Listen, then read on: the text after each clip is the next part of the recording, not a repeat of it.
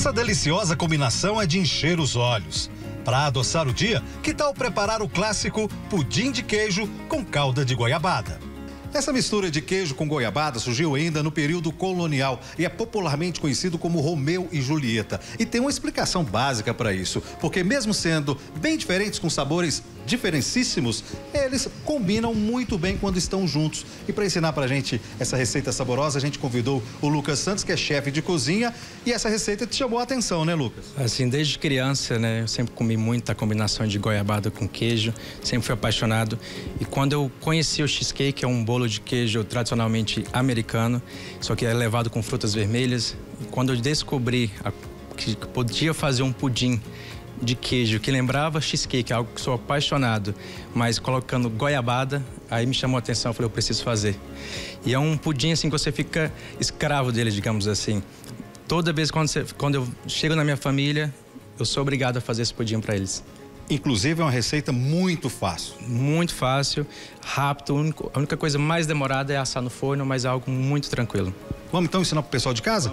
Para essa receita você vai precisar dos seguintes ingredientes: 300 gramas de queijo fresco em fatias, 400 ml de leite condensado, 400 ml de creme de leite e 4 ovos.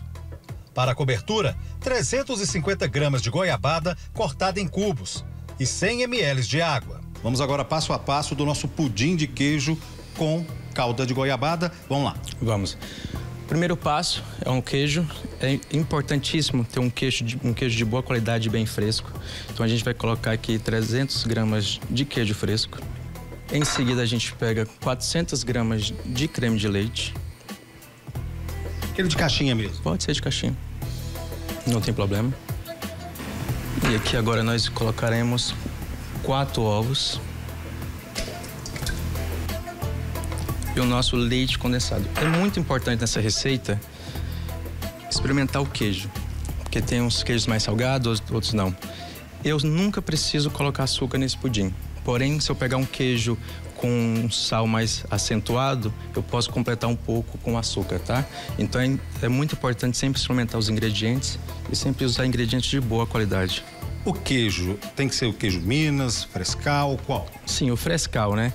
E na ausência dele, se não conseguir achar, ou então o único tiver muito velho, pode ser usado a ricota. A ricota você vai conseguir um, um sabor parecido. Então não tem desculpa para não fazer receita. Não, não tem. não tem como fugir. E agora, depois de todos os ingredientes no liquidificador, agora é só bater. Quando a mistura ficar bem homogênea, bem lisa, já pode tirar. E isso, antes de começar essa receita, é importante já deixar o forno pré-aquecendo, a 170 graus. Vamos bater aqui. Pronto, depois de uns dois, três minutinhos, a mistura já está bem lisa, bem homogênea. A gente só vai untar a forminha com um pouco de manteiga. É muito bom usar um papel para evitar sujar a mão e é melhor para espalhar. Se eu quiser polvilhar com farinha de trigo, pode? Poder pode, mas não há necessidade. A manteiga já vai fazer um trabalho muito bom aqui. E o queijo, por ter uma gordura, certa gordura, ele vai soltar facilmente quando aquecido. Não precisa nem colocar muita manteiga também, para não ficar muito gorduroso. Só para untar mesmo, para deixar ela lisa. Isso, né? para sair mais facilmente. Pronto. Aquela história de bater muito para tirar o cheiro do ovo é verdade? Sim, é verdade. O ovo, quanto mais tempo bate, vai batendo, vai eliminando. E também há uma forma de tirar o odor do ovo, que é passar numa peneira as gemas. Passar o ovo numa peneira que fica uma película onde dá aquele mau cheiro. Aquela pelinha da gema. Isso, a pelinha da gema fica na peneira e aí elimina. Ser essa forma específica?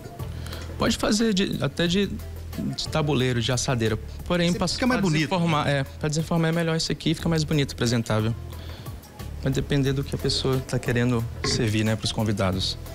Agora a gente vai fazer o quê? Próximo passo. Passar em banho-maria. A gente vai colocar na forma, colocar uma água e depois vai ao forno a 110, 170 graus por cerca de 50 minutos a uma hora e meia.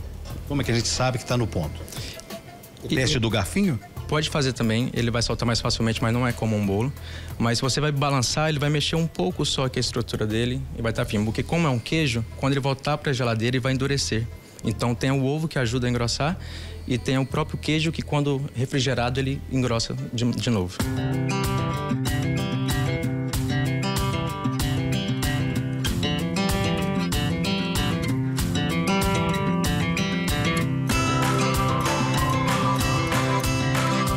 Só reforçando que o pudim tem que ficar entre 55 minutos e uma hora e meia no forno. Enquanto isso, a gente vai fazer a calda, né? Isso, vamos começar com a calda agora. É importante começar com pouca água, 100 ml, que depois a gente vai controlando a, a densidade da calda. Quem quiser uma calda mais grossa, menos água. Quem quiser uma coisa mais fluida, mais lisa, a gente vai colocando mais água. Isso altera o sabor do pudim? Altera porque uma calda mais concentrada vai roubar um pouco o gosto do queijo, né?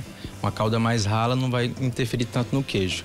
E também na questão de apresentação e decoração. E aqui a gente vai apertando com a, com a espátula, uma colher de pau, ele vai dissolvendo. E como aqui já está muito seco, eu posso ir colocando um pouquinho de água e controlando essa calda. Que não derreteu toda a goiabada. Isso, não derreteu toda a goiabada ainda. E se por acaso é, ficou, se eu coloquei água demais e eu vi que ficou rala demais, eu posso deixar reduzir mais e ela vai engrossando novamente. Não pode ficar nem um carocinho da goiabada, né? Tem que ficar bem lisinho, né? É, senão fica feio, né? É uma questão estética mesmo. E o Lucas deixou, inclusive, uma porção pronta aqui, ó, para mostrar como é que fica a nossa cobertura, né? Que a cobertura feita é a calda, feita com goiabada. A gente coloca na travessinha e põe na geladeira também. Isso, a gente bota na geladeira para esfriar, né? Porque a gente vai servir um pudim gelado. E aí, se a gente colocar uma calda quente, não vai ficar legal. E agora só desenformar só o nosso pudim. Isso, exatamente. Agora que o nosso pudim já está resfriado, né? Bem geladinho. Cerca de duas horas no mínimo.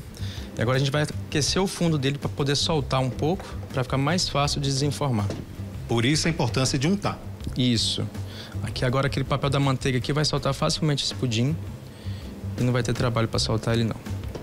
E o pessoal de casa deve estar imaginando, né? O processo é diferente totalmente do pudim tradicional. Isso, porque no, no pudim tradicional a gente coloca o caramelo embaixo, né? Untando a forma também. Aqui não, a gente vai colocar a calda por cima, separadamente. Parece fácil, mas é delicado desenformar. É, na hora de desenformar tem que tomar bastante cuidado, né? Porque como é queijo, como a gente esquentou um pouco o fundo, ele vai derretendo, né? Então tem que ir com bastante cuidado para ele não desmontar. Ficou muito bonito. E agora vem... Agora vem a calda goiabada para a gente finalizar esse pudim.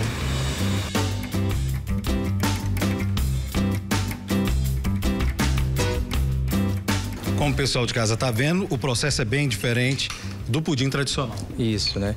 Porque aqui a gente vai colocar a calda no final e por cima dele. E é legal a gente derramar um pouco nos cantos para fazer um desenho. Que essa é a vantagem de fazer uma calda mais grossa. Você pode conseguir fazer esses desenhos aqui na calda, no, no pudim. Isso dá um charme a mais. Isso.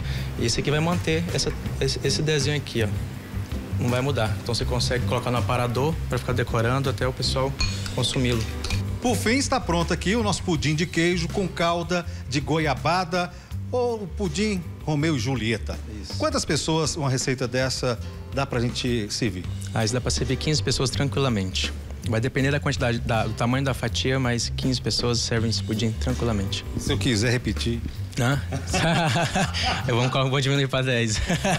Vamos então servir aqui o nosso pudim. Você aí de casa conferiu, viu como é fácil fazer essa receita que tomou o coração aqui do Lucas e ele vai colocar aqui uma fatia. É, essa aí de repente eu nem ah, vou repetir, repetir, não, é. Né? Essa eu acho que ele vai estar tá boa, viu? E como você viu, o processo é bem diferente do pudim tradicional que é feito com caramelo, né? Aqui a nossa calda vai por cima. Bonito, tá demais. O Lucas ainda teve o capricho de colocar fatias de goiaba para enfeitar o prato. Isso chama mais atenção, né? Chama mais atenção, fica mais bonito. Também dá um sabor a mais, né?